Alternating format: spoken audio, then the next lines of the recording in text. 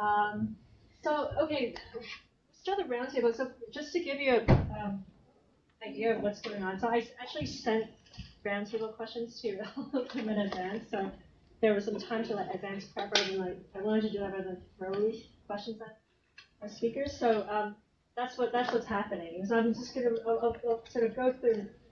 I'll go through and then you know we will we can then op- like naturally open up to a more general Q and A. So like anybody who has a question like in, in the middle of my talking, you don't have to wait for me to finish everything. Just if you have a question, just like you know raise your hand, just intervene you like.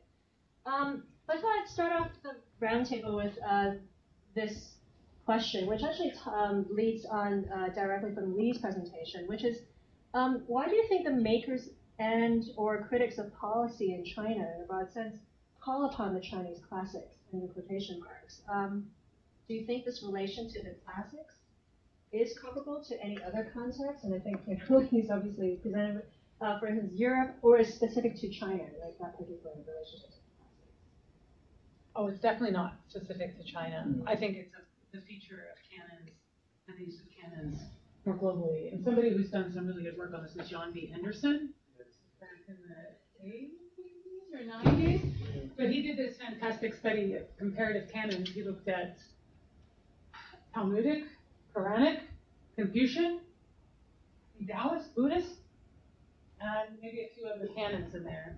Um, and he, he noted that there were certain kinds of features that were prevalent in any kind of engagement with the canon. And many of these same features I also find at work in the political theory canon, which is what I'm expected to teach um, to introductory students, introductory first year students. Um, so it's definitely not unique to China. I think one of the things I was trying to say in my talk is that classic texts have this kind of appeal. They both seem like self-evident repositories of wisdom, even as they're resistant to our interpretation of them. I mean, this is where we, we, we spoke a bit about the, the Han Dynasty, and they had one interpretation of the Mandate of Heaven, and it gets reinterpreted, and it gets taken up again. This is this is much how canons everywhere function. Yeah, I mean, the um, first generation of people who are interacting with the Chinese canon from outside are classicists. They've, they've got a, uh, they got the Bible in their heads for a start. Uh, did John Henderson talk about the Christian canon? Talmudic. only Talmudic. Yeah, yeah, I don't think. He's, I think he, wanted, he was he was working in Louisiana, so it's probably tactful. Yeah. um, um, and of course, they were classicists in the sense that these um, some of the missionaries weren't well educated, but all the consuls would have got a lot of Latin and Greek in their background. And of course, were, if you look at the um, uh, Hansard for, for the sort of um, 19th century, there's a lot of quotations from uh, Latin literature in there. And, and there, there, were these reference points that everybody was using in, in um, British civilization in the same way that, that more than the five classics, the four books were being used uh, in, in, Chinese civilization. It, you may be familiar with the earliest Chinese grammar that was written by a guy who had studied in France. Um, and he's basically projecting European um, concepts onto Chinese grammar. But it's interesting. I tried reading it. Uh, every single example he uses, uh, it seemed to me, was from one of the four books. You know, he knew that people had this material in their heads, mm. so he would naturally refer to it. Um, but in the same way as a biblical quotation in, um, in Victorian Britain would be recognised by absolutely everybody. Um, so, yeah, it's it's it's like common reference points being used. Mm. Um, uh, it's a way of affirming you're an educated person. Yeah? I have a totally different take. Hurrah. Uh, yeah. um, well, setting out from the intellectual historical perspective, point, point one out one thing, which is classics in the 20th century in China related to the historical narrative of China itself. Who is China? Mm. Who are the Chinese? As, as, you know, in 1912, everyone would have rejected the idea of classics. But then classics reappeared, and as the, the currents I was talking about emerged, new historiographies emerged. New historiographies redefining the character of the Chinese past and redefining the nature of classics. We have like pragmatist current, which uh, points points out the, the importance of Neomoism as a key element of Chinese tradition. And then we have neorealist reading of Chinese classics, which points out Confucianism, the notion of as the translation of universals. Marxists had their own, their own new uh, historiography. The reason for that is that if you want to re-establish worldview, you need uh, some sort of historical narrative. You need evolutionary narrative. And evolutionary narratives change the notion of tradition. That is, that would be my general uh, guess on that. Although that's not the entire story. Because there's also doubting antiquity, uh, which uh, had its roots already in the 19th yeah, century. But Well, there are earlier than that, I yeah. would- There are also lineages, Yeah. which went from, from professors, students, Yeah. and Yeah. so forth, which preserve some sort of notion of classic is. But I would, the connection between world order, identity, and the general narrative evolution of society is key for me in this regard. So, so is actually also translation, if you think about it. When we- So is, sorry. the translation. Now, Translation. when we change our like, perspective slowly on China, we change translation. Uh, we we start doubting, the, for example, the connection between ziran and nature, which was self-evident back then, in a certain frame of time. Mm.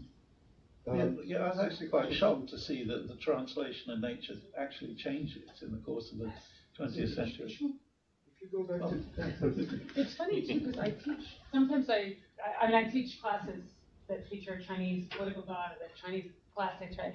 And sometimes my students will go and find a translation online, usually it's Legge.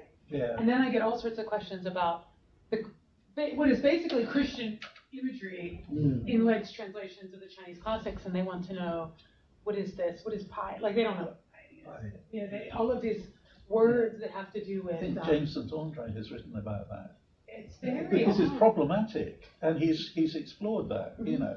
I'll have to read, read that because students come to me with questions and they have a very different sense of the text from what I understand because they've read this Legge translation, which is infused with Christian Yeah. imagery about heaven and the afterlife and transcendental knowledge and God and all of this stuff, piety, faith.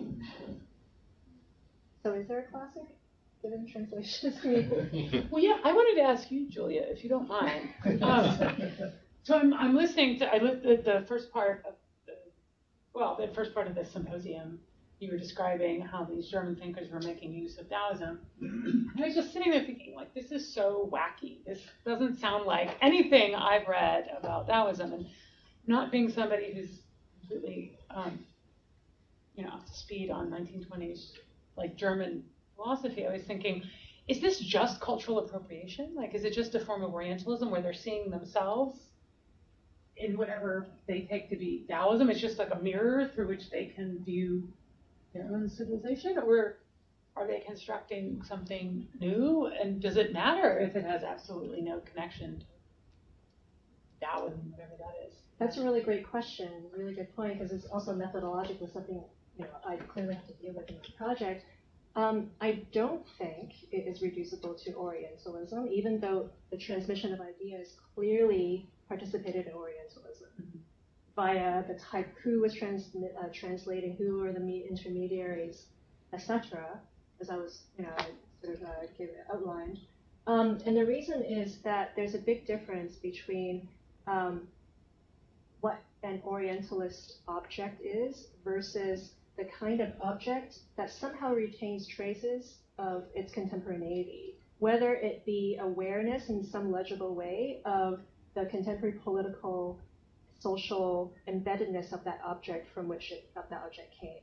And I, let's just say briefly that there's philo- I, I have philological evidence for that much, and it's very specific, and I, I, you know, at least like the way I've justified it is um, by comparison with the vast amounts of Lao reception in Germany at that time. These so my specific focus is quite a select group, actually. I selected them specifically because they have such a peculiar way of understanding the Tao, as opposed to more broadly this like Tao enthusiasm that was consuming most of Germany, actually.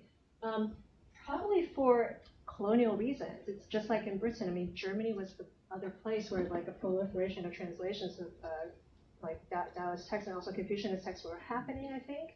Um, you're, you're Well, please But, correct me. but, but maybe, but maybe there's something different between Germany and Britain in, in that the way that, that people like Wilhelm um, uh, and, and even earlier Buber and so forth are interacting with collaborators on a much more equal footing than, say, Legge using Wang Tao as a kind of sidekick, you, you know. The, the, the, the Google was using him as a sidekick.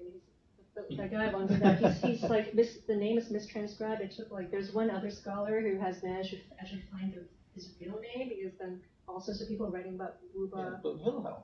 Wilhelm, yeah, Wilhelm's different, obviously, but um, Wilhelm also Christian. I mean, he, he does Goethe, Goethenize, Yeah. Goethenize, Goethenize his version of the Tao Te Ching, basically because of his cultural project. He's he believes in intercultural dialogue, which is kind of like not. But the point I think is, you know, what they all made of it in such a way that the um, historical transformability of an interpretation is retained, right, in, in some essence, rather than as an Orientalist object, which, if you imagine, is essentially like an object behind glass in a museum, stable, inert, uh, an artifactual thing that's appreciated mainly for its aesthetics, minus any sort of like a sense that there's some sort of social, historical, or political ramification associated with that object.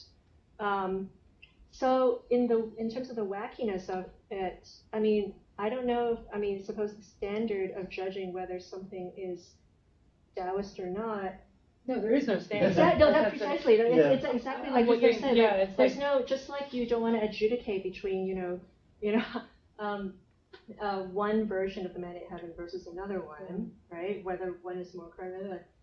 Similarly, the adjudication of like whether, you know, any Western reception of an idea from a Taoist classic was necessarily Orientalist can proceed without running into the same problem of having to adjudicate between a more authentic version versus a less authentic version of, of the text. I think it really is, has So to do with appropriation can never happen. no, no, that's not true. There, there's cer- there's certain ramifications of it. There's there's one thing the the the, the, the sorry I'm talking about myself so much. this is meant to be about you guys. But um, the leader of the youth movement, I would say, was instrumental in disseminating the Tao Te Ching to the German context. Gustav Wyneken, he probably is like ground zero in, in the sense of like how all these people, Buber, Benjamin, Kaf, Kafka, etc., Wittfogel also first got enthused um, with the Tao Te Ching. Um, but uh, there's a conversation that a friend of Kafka's recorded uh, of Kafka sort of bitching about this guy, basically saying this guy basically commits the error of thinking that the mistaking the Tao Te Ching as a record of reality. Mm. And that is that then turns into just like a document of how to li- live one's life, and that is, I think, the Orientalist version of what this is what is See, happening. I was thinking if so I've done a lot, I mean, in my former life I, I wrote a lot about the nineteen twenties, thirties in China, where there was a lot of this kind of stuff going on because they were borrowing like Western texts, right? Mhm. And what was said about many of those Chinese thinkers was they've misunderstood, they've appropriated, they are um, they're combining things that shouldn't be combined, they're contradictory, they're misguided, right? It's only when Germans do it to Chinese then it has a special. Then then we can have this kind of conversation about uh, uh, the contemporaneity that doesn't exoticize the Oriental object. Like, why can't we just say, like, uh, do you see what I mean? Like, I I buy it. Like, I buy it, and so part of my work using Chinese sources has been to say, no, they were doing real thought with real thinking. It was real thinking. It had substantive contributions to theoretical discussions of whatever nature, right? Oh, yeah. But I got a lot of pushback from that because people say, no, no, no, they, they, they don't understand these texts. They don't understand Russell. They don't understand I suppose it's about, it's about, it's, you know, it's really about the, you know, the, the, the, the premise that you, you, you impute onto like, you know, judging, I, I don't know, I, I'm a literary scholar by training, I get like, under the words objectivity, have a hard time putting in my mouth of like text, right? What I want to say is, I mean, I want to be more specific. I'm specifically, I didn't mention this because it's, I thought it was like a little bit like really wacko in terms of like today's context, but um, I'm looking specifically at German Jewish authors. And I think it matters a lot in terms of the theologization or non-theologization of the Taoist text in comparison to, as I said, the broader context of like the German enthusiasm for Taoism, including especially, you know, non-Jews, I mean the majority, you know, German majority, and also eventually um, Nazi appropriation of the same Heidegger. I mean, the most famous like German philosopher besides Buber, whose reception of Taoism is greatly studied this day, these days, is Heidegger. It's sanitized first of all because you know people just most philosophers simply want to compare without thinking about the his, like the historiography of it, the historical context, also like the philosophy of history that's contained in the use of sources. So whether we go to Heidegger, he's you know con- contextualized within phenomenology and then compared to Martin Buber mostly. Uh, big problem with this because what's the big upshot of Heidegger's um, use of Taoism? We'll get Gelassenheit, which is kind of like Wu Wei, like kind of like non-action.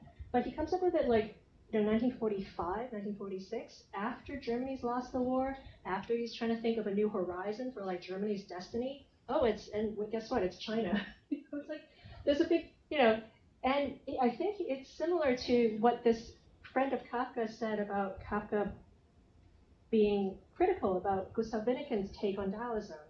Um, people like there's kind of Western reception that might want to take the Tao Te Ching as a document of reality, as though it were an alternate reality that may be held off in aesthetic terms, and therefore one towards which we might aspire to solve the ills of Western civilization, which of course in the 1920s is like Spengler here, everything's in decline. You know, we want to look for the next alternative. So, you know, but these people that I, there's a possibility of like, like interacting with classics, so to speak, or like these texts in a way that like um, doesn't just like have German Jews reflect on their own alterity, but actually, you know, interrogate uh, conceptions of history, um, like philosophical conceptions of history, that renegotiate the whole, the very idea of what action looks like, non-productive, etc. That, that's sort of like the bigger context of this, and like there's a whole bunch of other stuff where I'm really talking too much. Has to do with like recognitions of like you know whether a peasant revolution is possible without undergoing the requisite stage of industrialization, and that's like Locke and Wittfogel. There's basically the. I'm gonna stop talking, but that's I think I think there is a you know there's a differentiation between like you know different kinds of Western uses and like it can yeah. I do want to by the so I want to transition get back to you guys. but basically like you know I just have to stand up because I have a back problem. Oh, yeah. but I'm not. I'm not. It's not. Doesn't mean anything. I just, I'll just stand up. I'm not here. I'm not trying to dominate. um, and so in the course of the research that you heard way too much about just now, but um, you know, one question that actually insinuates itself over and over again is whether Taoism is a religion or a philosophy. Um, That's a Western question. Yeah, Yes, that's, that's a good- that's a good way to Orientalism. answer. that's a very good. Uh, that's a very good um, If- answer if to you, this if you question. want the historical answer, Mm. um, the terms mean nothing in early China. Um, the, there is a bit of foul play going on by the fifth century and sixth century, where it's in the interest of Buddhists to say, um, yeah, phonies really. Um, you know, that Lao he was okay. He's part of the Chinese tradition, and uh, they will accept maybe, yeah, that all, all that health stuff is good for you. You should eat right and keep fit. Yeah, we will agree with that. But but um, but then they will denounce um, more recent revelations in Taoism. Um, so the, the the philosophy thing is to some extent a reflection of uh, the Buddhist need to validate non the non-Buddhist tradition in China rather selective. Okay, um, you will be told by people who should know better that there is a distinction between Daojia and Daojiao, between the school of the Tao and the teachings of the Tao, the one being philosophical and the other religious. It doesn't stand up to inspection. If you if you look at um, say uh, 12th century sources, uh, I'm looking at Zhu Xi, for example. He says, "Yeah, Taoists not up to much these days, but there again, neither are Confucian, so whatever." Um, but in, in discussing this, he uses either term um, without distinction. Um, it, it, I'm not sure when this, uh, obviously, if you have no concept of philosophy or religion, uh, you're not going to use a, a, a, a, distinctive terminology very much. So again, I'm thinking maybe Meiji, uh, Japan. I'm not sure. I haven't looked at it, but but certainly it's, it's a kind of Orientalist imposition on a situation in China that simply doesn't reflect those kind of divisions.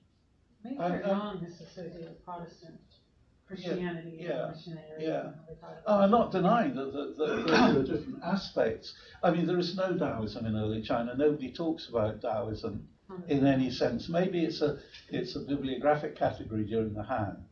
Yeah.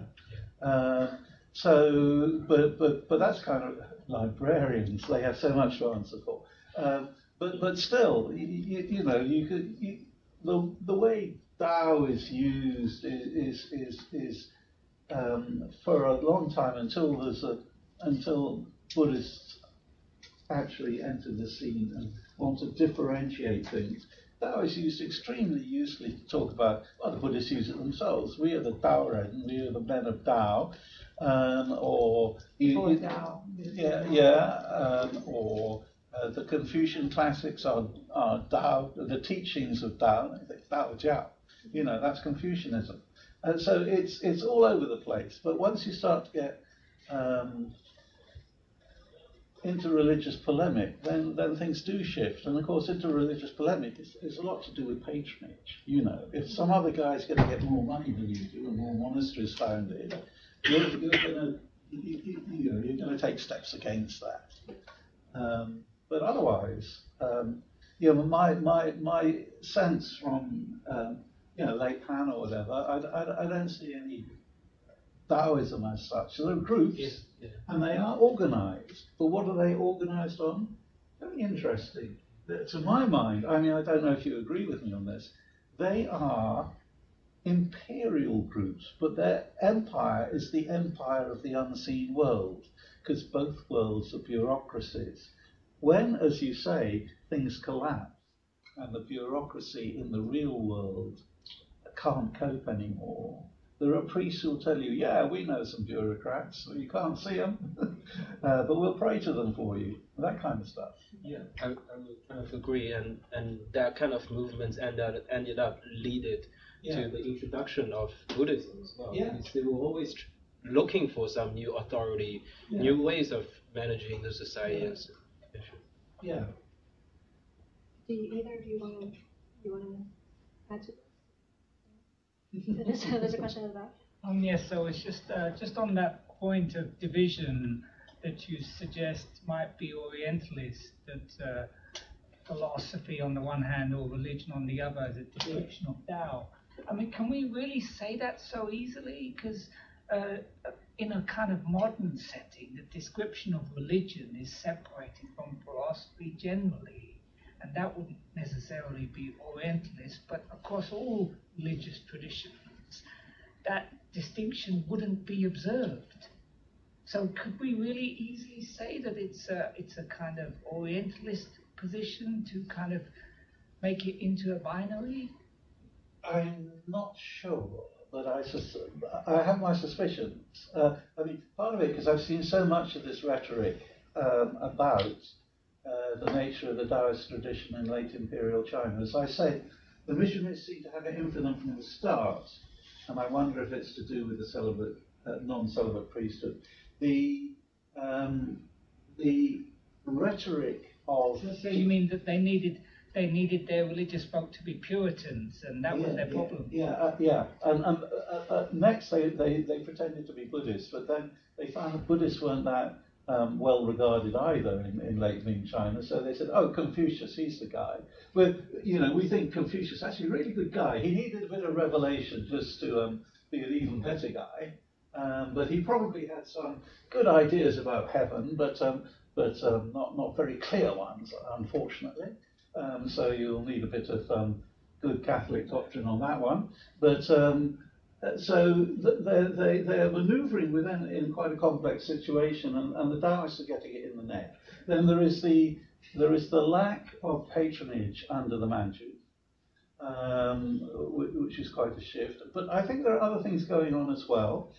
Um, one problem is that um, a lot of Taoism is invisible to the external observer in the sense that, yes, you can see Taoist rituals, and, and uh, you know, they're fairly conspicuous in local society, uh, you know, at Aphrodite.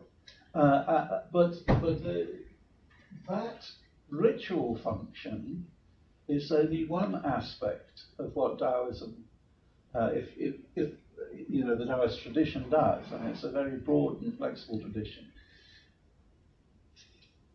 There is, of course, um, an aspect of Taoism which is uh, domestic, down. Uh, uh, it's a kind of yoga that you don't practice um, publicly and collectively. There's also a problem in that the, the reading of the Tao Te Ching has at least a couple of levels to it. Um, in this sense, and I will concede this to the mystics. mystics. Um, I did have a Taoist priest in a class of mine. Uh, well, he was a, he was doing a PhD, but I said, "Come along to the, the Taoism class," and, and so I was talking about you know the various commentaries on the Tao Te Ching. Very interesting evolution of commentary, which to a historian is extremely interesting. And at the end of, at the end of the class, I said, "Right, but however, here is a guy who actually knows what it means," pointing to him, and he said, "I couldn't." You'd have to be an initiate. Uh, and he's and I said, "Oh well, I'm very sorry, folks," to the class. And he said, "But what you've told them won't do them any harm." so, yeah, So just, just on that missionary critique, um, wouldn't the three treasures be a form of revelation of a kind, of a sort? three what? The three treasures. Uh, the, the, uh, yes. Um, I, you'd have to look at the way that people wrote about South Asia, um, because there's very little missionary writing about Chinese Buddhism. Um, oh, I'll tell you what, and they have a they have a get out in, in, in Chinese Buddhism. They say, and, and this goes back actually, to Catholic missions in origin, but but but it comes in quite strongly in the 19th century, and the get out is this: yeah, these Buddhists they they um they look a bit like uh, Romish priests in a way. They got their rituals and their celibacy and all that. Romish being the Protestant view of this. Um, and, and some of them maybe good guys, but they've borrowed all this from Nestorian Christianity in the Middle Ages, which is historically totally indefensible, but it was an argument that allowed them to recognize um, some validity in some Buddhists. Didn't last very long because um, uh, eventually people got better informed, but from from at least it's coming in in the 1870s, especially after the dis- discovery of the uh, Nestorian inscription in, in, in Xi'an, uh, and it lasts. It's it's even in Wilhelm a bit, uh, where where you know he. Uh, he, he makes some nice remarks about um, Taoist alchemy and says, well, of course, probably a bit of Nestorianism in there or something, you know. Uh, and it's by now completely vanished, but that was the argument at that time. I guess jumping off of that, like maybe this takes us in a different direction, but my third question actually has to do with what I perceived maybe as a um, productive tension between the sinification of universal experience versus the universalization of Chinese difference, if there is one. Did you say that? The sinification of universal experience versus the universalization of Chinese difference. Yeah. So it seems like that as the 1920s progressed, a problem emerged of how to think concepts of virtue, activity, or public good, for instance, together with or maybe against Chinese tradition, which occurred also alongside modernization. So like, you know, collision of imperialism and colonialism with Chinese independence. And then in the 2020s, the situation may seem to be the reverse. So one in which difference seems to be ascribed a scriptural significance, perhaps, to promote the ascendancy of the new. Uh, in your view, how accurate or adequate is this brief history of the idea of the universal? Um, is it necessary to complicate this picture? If so, how? Why? I would complicate it by, by, by saying I, I don't want to go into all the aspects of this because other people could do this better. But I get the impression, seen it all before in this sense, that Meiji Japan is also an, a, a, a situation where the East Asian tradition and, and, and obviously uh, Japanese education absorbed a very great deal of Chinese classics and everything into it, um, the language. Um, went through very rapid changes, and yes, there is. Uh, I, I, I had to check for um, um, some of the teachers of this period, a guy called Michel Mohr, on Unitarianism in Japan. And he situates that, along with a lot of other research about Japan, into a search for you know, values that could uh, could cope with this new situation. Uh, universal values, perhaps, and, and, that's where Unitarianism came in, amongst other things. Um, that's where Zen uh, emerges as a rival to Christianity. Blah blah blah blah blah blah. So, uh, I would see, I would say yes. Um, I would not be surprised, on the basis of what I know about Meiji Japan, if there was a seeking for universal values. As to now, all I can tell you is this. There was going to be, uh, uh, there was a lot of talk in the 1980s about an emerging Japanese superstate. It sort of went down the tubes. Um, uh, but people haven't noticed, I think, an interesting aspect of this. If suppose you're Japanese and you truly believe that you're going to be, uh, you know, heading out towards a superstate and everybody's going to be looking to you, uh, Japanese, certainly in the 1970s, were spending a lot of time saying how unique they were to the point that, you know, God gave the Japanese a thumb that is especially adapted to pinball machines and, and other useful ideas like this. Um, but, but when they suddenly realise that they, there is a prospect that they may actually be, you know, the beacon of humanity, you, you can't really sell your excellence with, with pinball thumb to the world as something to look up to um, you've got to come up with something better. And then you've got a very interesting is to do, you know, with uh, what was happening in China um, and the commercialization of tourism. There was a Silk Road boom. Uh, part of which was to do with the fact that people could now go and look at the Silk Road. Um, There's a Silk Road boom now. It's. Absolutely. But, but you see, what happened then was you can read the Silk Road boom as being a way of affirming Japanese material culture as the end product of a transnational process. That Nara is the culmination of civilization because it was the end terminus of the Silk Road. That Japan has received the whole of Asian and European civilization. So it is on that basis that we're going to be the ones who can guide you from the emerging Japanese superstate. It didn't last long enough for anybody to write about it much, but um, I think it has lessons for today. The narrative is still cosmological. Right? Yeah. So we are the Chugoku, yeah. the Dongo, yeah. which is actually reused Chinese cosmology for their purposes. Yes. There's a whole ritual. May I? Yes, yes. Well, um, I will speak about something else now. Um, for me, the problem is translation. Yeah. now we have inflation of translation in, in current Inflation of sensation? of translation. Oh. And translation in our case means what? Glossing. Primarily glossing. You find the proper uh, term for one one notion in Chinese and one in the Western language. But is this really the whole task of translation? No. Implication. Yeah. Context, implication, stuff like that. And the same thing, the same problem is being applied to the 1920s and 30s when we think about cultural appropriation. So, um, universalism, maybe uh, notional universalism, maybe it's, it, it, it appears to us that now Chinese subjectivity is universalized in a way. But as we know, the main thing in experience is much more than just notions and narrative. The common sh- share, shared, shared within a cultural domain.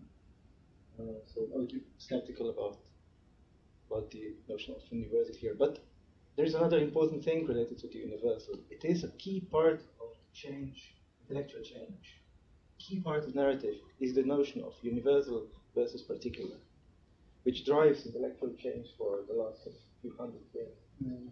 Um, and in this sense, uh, universalism within narratives, political narratives, social narratives, should be observed not as objective facts, but as means of translating and retranslating, uh, of re-establishing identities within a new order.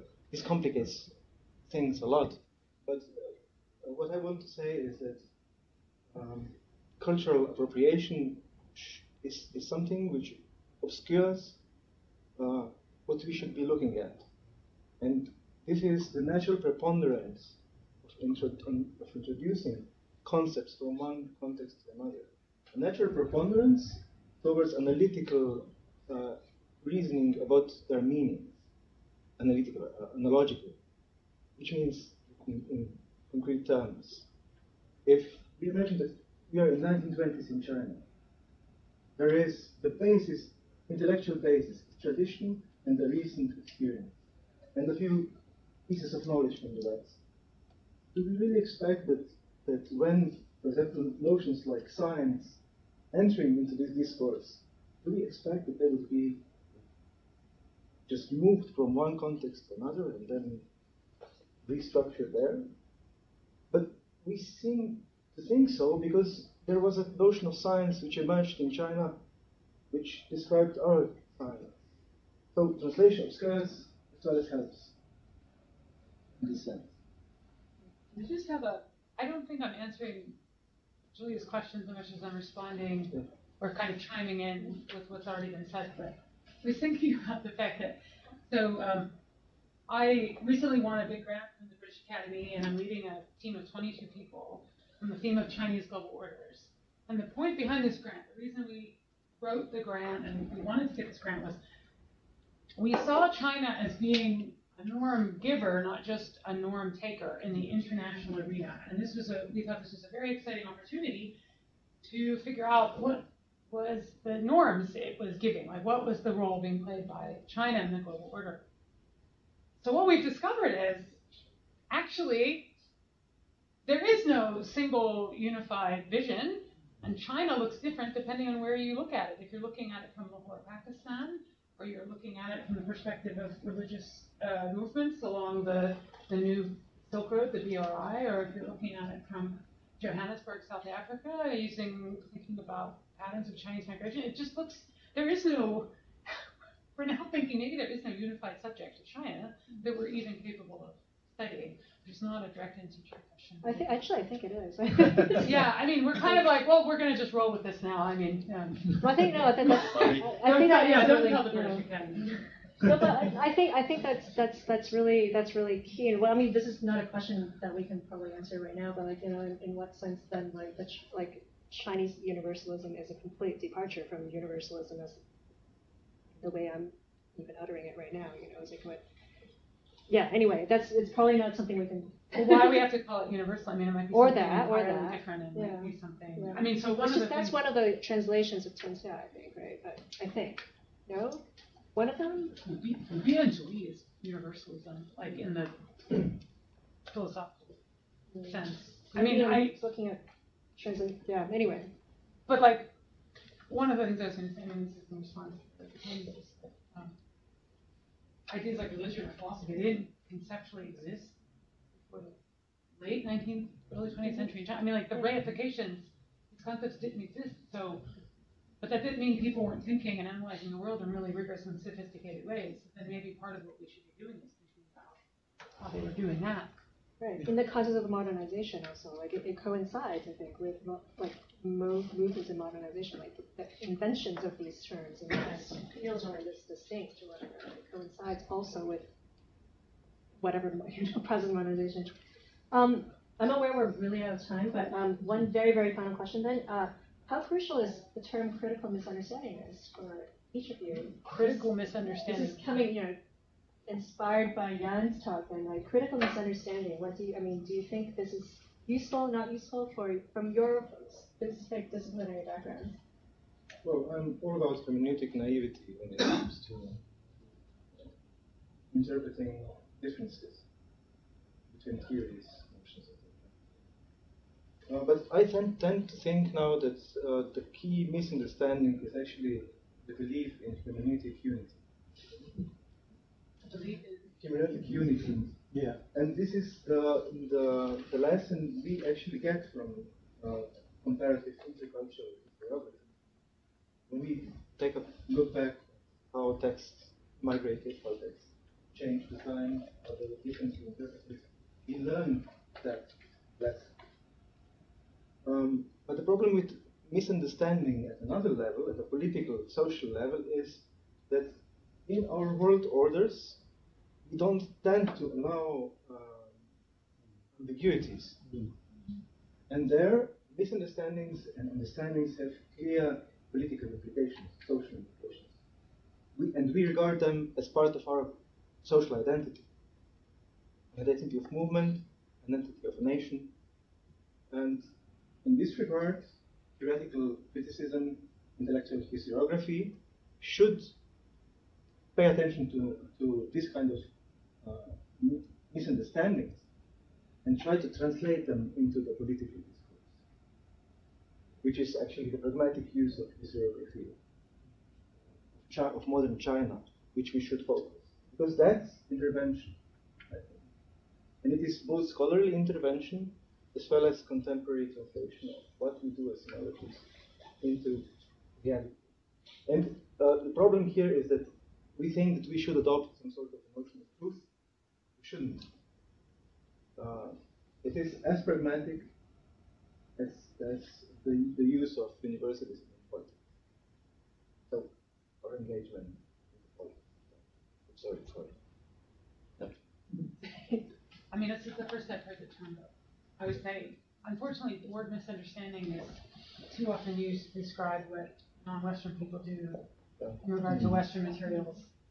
And um, inspiration or innovation is more often used when Westerners appropriate non-Western resources. So I, I, I don't like this term misunderstanding. I've seen it used too many times um, to describe what a lot of the Chinese thinkers I study and write about done. I don't misunderstand. Understanding differently. Well, history of religion, you know, it's the driving force. You, you, you know, um, look at the Reformation, you can say it's about the mistranslation of a single word, faith, you know. Um, and in fact, there is a big movement in Protestant um, uh, historiography now to go back and say, ah, maybe we got the, maybe, stop, uh, maybe Luther got it all wrong, maybe it's a mistranslation, you know. If, if you could do that with a, with a major shift in Europe, ought to be a bit careful with what you're doing with China, you know. It's the only lesson I can learn from that. Well, with that said, thank you everybody for being, thank you all of you for being, agreeing to be a part of indulging me. Uh, thank you all of you for coming, um, and, um, I just wanted to say, as I said, this was the first of three. The next two are here.